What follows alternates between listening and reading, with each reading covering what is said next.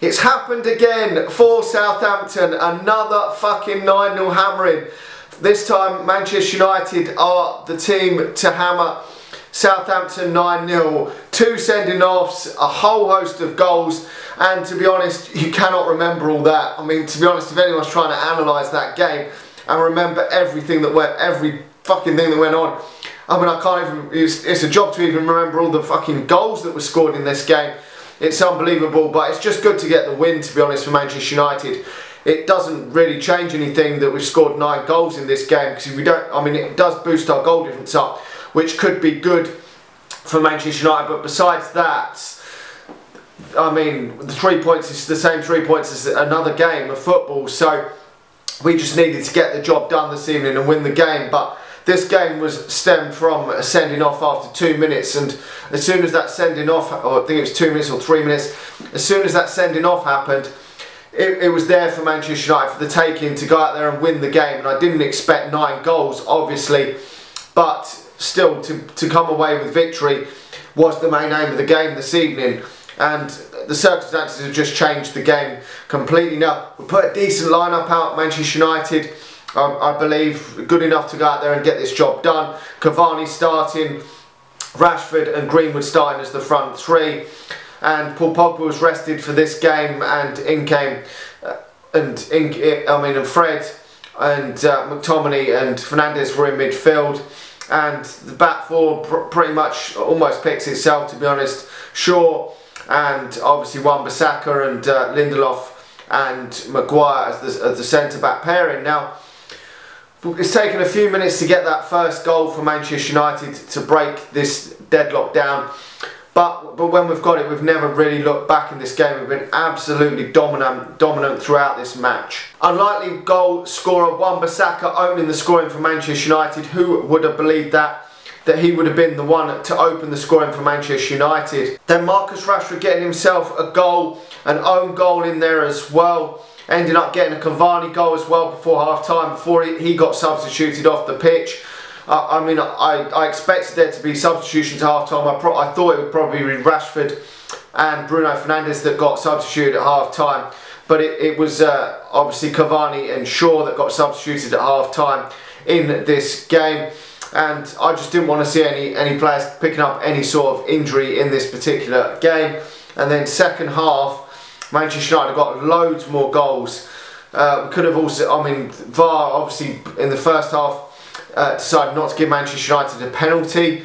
And then second half, we've got loads of goals in this second half. Anthony Martial getting himself a brace. We've seen a Bruno Fernandes penalty.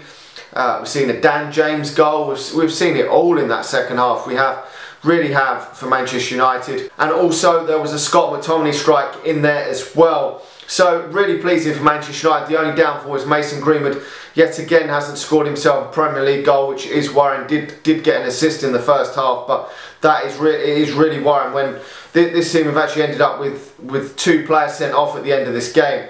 And, with, and every fucker bar, probably Greenwood has actually got themselves a goal. Van der Beek obviously coming on in the second half as well, but second half was a bit like a, just a training ground game of football for Manchester United.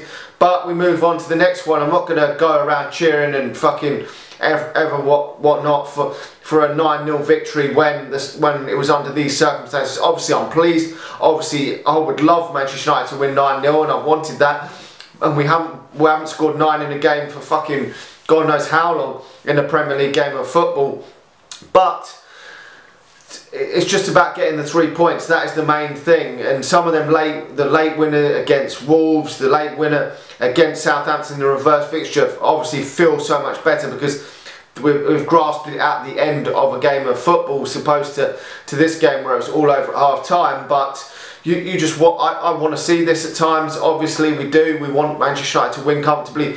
But the main aim of this was just to get the three points to get back to winning ways. And obviously it's helped because Martial's got himself some goals, Cavani's got a goal, Rashford's got a goal. So most of the goal scorers have got themselves on the goal on the score sheet tonight. Bruno Fernandes has got two assists and a goal in the end. So overall for the forwards apart from Greenwood it has been a good good day at the office for Manchester United and we move on now to the next game. So you couldn't ask for more than that. Who would have who would have predicted another another 9-0 for Southampton hammering this evening? No one would have predicted that. But no one would have actually predicted the circumstances in which I'm not taking anything away from Manchester United.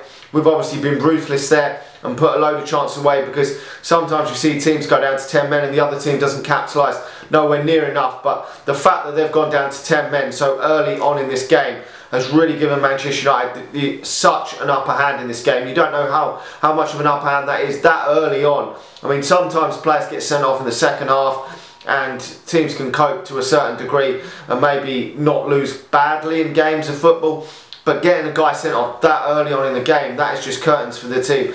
It is so much, so much work for the team to do, covering that extra man for, for 90 minutes of a game of football. But Manchester United have got the three points this evening. Really pleased with that. Now we can look and see what the other teams do. They're probably going to win Liverpool and Man City, but if they were to slip up, then that would be great for Manchester United because they both play each other on the weekend. So Manchester United just need to keep keep winning games of football and see where it takes us come the end of the season. Anyway, let me know your thoughts in the comment section below. Get in there. Manchester United have won this game of football. Nine goals to fucking nil. Who would have thought it? We haven't done that in so many years.